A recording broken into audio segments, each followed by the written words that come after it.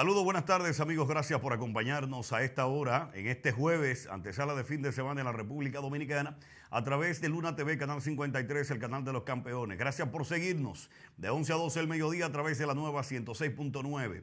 En la nueva 106.9 somos comentando sin miedo en radio. Allí nos sigues todo el comentario, el contacto interactivo con nuestra gente, las informaciones allá. A esta hora, Luna TV, Canal 53, el verdadero canal de los campeones donde el juego se ve mejor. Aquí estamos a esta hora de la tarde. Recuerda seguirnos a través de nuestra plataforma de Comentando Sin Miedo. Póngale el nombre ahí, señor director. Vamos a darle peso a esto de una vez. Entrando inmediatamente con los comentarios, hoy la República Dominicana, Carlito, ten eso. La República Dominicana eh, recibió unos helicópteros que llegaron por el aeropuerto Gregorio Luperón de Puerto Plata. La llegada de estos helicópteros a, la novia del Atlántico alarmó a una gran parte de la población. Luego una reunión, una convocatoria que hace el presidente de la República, Luis Abinader, a todos los líderes nacionales a reunirse en el Palacio Nacional. Todo el mundo pensaba que algo estaba sucediendo en Haití o que algo iba a suceder en Haití. Inmediatamente una donación de unas 56 mil toneladas en ayudas humanitarias supuestamente para llevar a Haití. Ah, que luego el ministro de Defensa de la República Dominicana, Díaz Morfa, habla de que este cuadrón con 30 militares que llega a la República Dominicana, cinco helicópteros desde los Estados Unidos, se detuvo en este país porque iba rumbo a Puerto Rico. Esa es la declaración oficial que da el secretario de Defensa de la República Dominicana. Se detuvieron aquí, según él, a cargar combustible y a descansar a los soldados que venían detrás. 30, una unidad élite prácticamente o de, la, de, la, de los Estados Unidos. La pregunta es, ¿cuándo se van estos helicópteros del país? ¿Por qué se apostaron estos helicópteros en Puerto Plata? ¿Desde dónde salieron? ¿Cuál fue la base aérea? ¿Desde dónde salieron? ¿Y a qué operación iban hacia la isla del encanto Puerto Rico? Supongamos que haya salido de Fort Lauderdale. Sí. Supongamos que sí, hay una base en esa zona. Supongamos que sí que saliera. ¿Quién le está hablando mentira a este país? ¿Y por qué decimos quién le está hablando mentira? No es necesario esconder lo que se pueda hacer o lo que se va a hacer o la operación que ya se tiene montada en el hermano país haitiano. Alguien nos decía en el día de hoy a este programa comentando sin miedo José, hay una operación montada para rescatar los 17 estadounidenses que están secuestrados por las bandas haitianas en Haití. Vaya a la redundancia. Digo, pero ¿y qué tan fácil viene un escuadrón y se instala en Puerto Plata? Me dice, no. Se instalaron en Puerto Plata como una forma de ellos estar en alerta por si falla algo en el hermano país. Por Dios. ¿Y dónde está el otro escuadrón? ¿Qué es lo que está pasando? Solamente ellos saben cuándo van a operar y dónde están. Pero ya hace rato que ellos estaban trabajando en Haití para rescatar a estas personas. ¿Qué va a pasar? No lo sabemos. Sabemos las bandas armadas, qué armas tienen, porque la han demostrado en los medios de comunicación los haitianos. No todos los haitianos son malos. Algo sí está pasando en Haití y le digo que algo sí está pasando porque hace unas tres horas y media a esta plataforma de comunicación de Comentando Sin Miedo nos enviaron unos videos de una de las, de, de las lomas de Haití hasta donde llegan el sonido de los disparos que se están produciendo.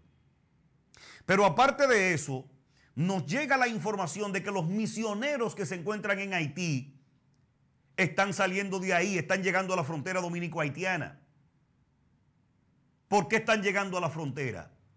Qué es lo que se presume que podría suceder en estos próximos días, entiéndase esta noche, mañana o cualquiera de estos días, en el hermano país haitiano. Esa comisión con los líderes del país, Palacio Nacional, no fueron los líderes. Un acto de irresponsabilidad de parte de los partidos políticos. Si se convocó a los líderes, ¿quién es el líder del Partido de la Liberación Dominicana? Hasta el momento es eh, Danilo Medina Sánchez. De Fuerza del Pueblo, hasta el momento el líder es Leonel Fernández. ¿Por qué no llegó Leonel Fernández a Palacio? ¿Por qué no llegó Danilo Medina a Palacio?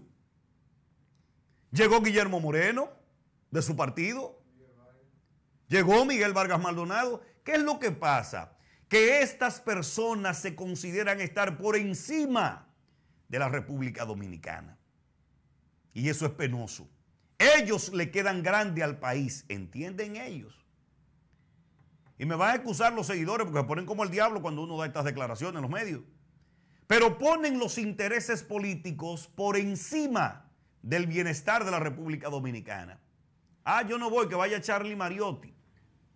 Pero no fue a Charlie Mariotti que invitamos, fue al presidente, al expresidente de la República, eh, Danilo Medina Sánchez.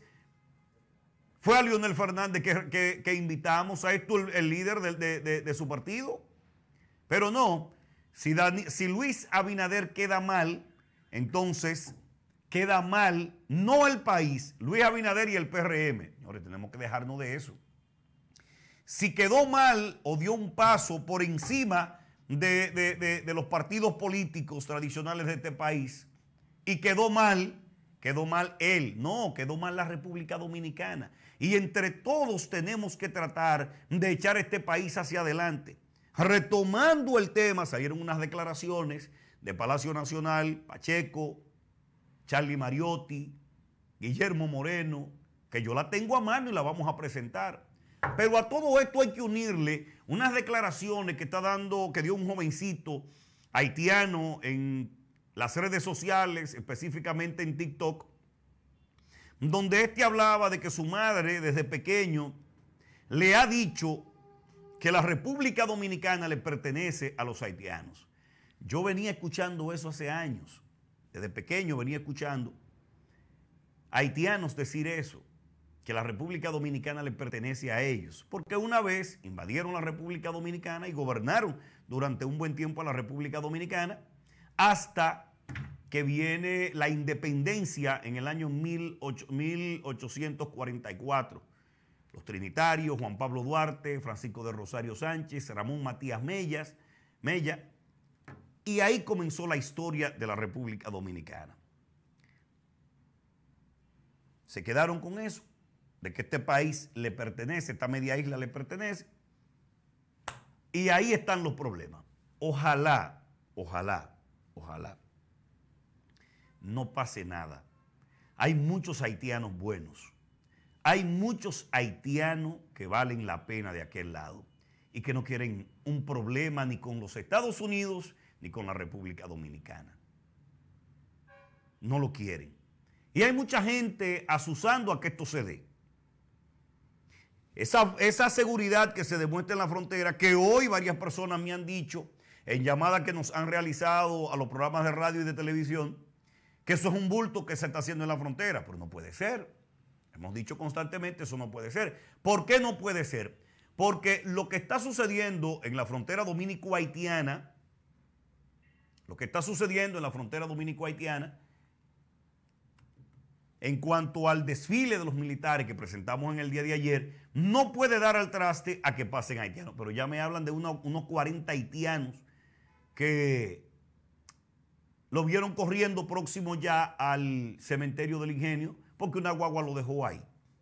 Pero otros nos llaman de otros pueblos próximos a, a la frontera para decirnos que por su finca están pasando haitianos. Y la pregunta que nos hacemos, ¿y aquí qué está haciendo migración? La dirección y la subdirección de migración, ¿qué está haciendo en la ciudad de Santiago? ¿Qué está haciendo en los demás puntos del país? Así sellamos la frontera, pero los haitianos cruzan. ¿Cómo están cruzando? ¿Todavía permanece el negocio en la frontera? Es la pregunta que nosotros hacemos en el día de hoy. Y ojalá que más adelante el presidente de la República, que tiene su mejor intención de que las cosas se resuelvan, Díaz Morfa también lo secunde. Y el ministro de Interior y Policía, Chubasque, que es el que ha dado la información recientemente de que los haitianos ilegales en la República Dominicana solamente podrán entrar a recibir atenciones a, los hospitales del país en una situación de emergencia. Los demás no recibirán internamiento. Los demás no podrán venir a, bueno, podrán venir a dar a luz porque la gran mayoría de parturientas que vienen al país ya vienen cuando se están derrumbando, como decimos en el campo. Y ver esto en la República Dominicana es un poquito difícil controlarlo. Es un poquito difícil controlarlo. Los, eh, dice el presidente de la República que los haitianos eh, comenzarán lo que están estudiando en el país, se le va a revisar, cuando se le venza la visa, se va a revisar quién es esa persona, eh, lo mismo se le va a hacer supuestamente una auditoría al, al plan de regularización de haitianos en la República Dominicana que llevó a cabo el Partido de la Liberación Dominicana, PLD, en este país, encabezado por Danilo Medina Sánchez como presidente de la Nación Dominicana. Yo estoy de acuerdo con eso. Vamos a ver qué se logra conseguir allí.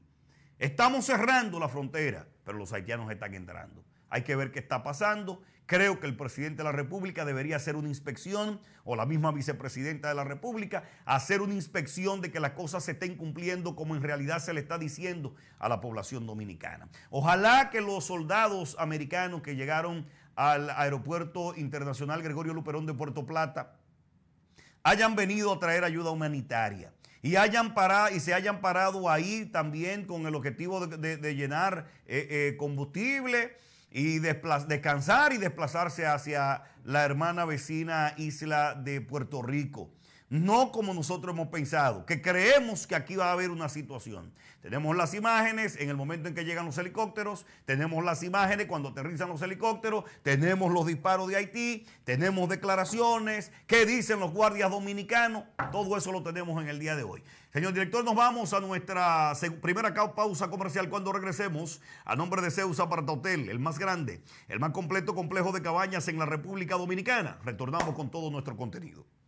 Música